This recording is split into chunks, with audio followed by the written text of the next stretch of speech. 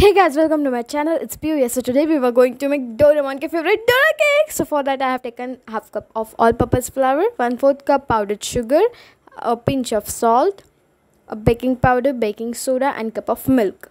So first of all, we have to take a ball and put a half cup of all-purpose flour, then one fourth cup of powdered sugar. Then we have to put a pinch of baking soda and a pinch of salt as per your taste. And then we have to put half cup half tablespoon of uh, baking powder and then milk. We have to put proper milk because we need a flowing consistency and the batter should be very not to be thick or not to be very thin. Um,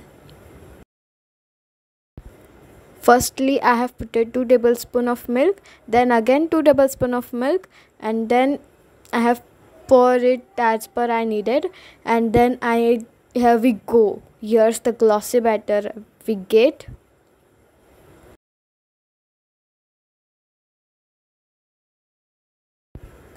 Now i have taken a pan and i have greased it with oil. Now we have to put a 2 tablespoon of pancake batter in it and we have to leave it for two minutes जब तक कि ऊपर air bubbles ना form हो जाए।